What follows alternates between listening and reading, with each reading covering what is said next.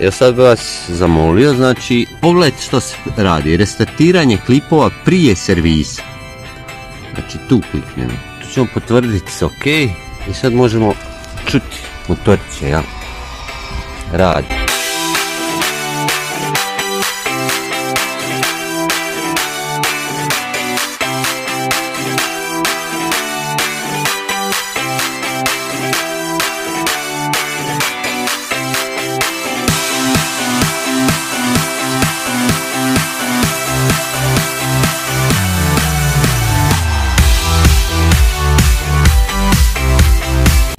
Pokretanje klipova unaprijed nakon servisa.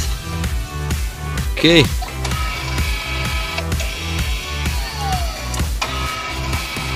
Smo ponovo ovdje na osnovne postavke sustava kočenja. Ok.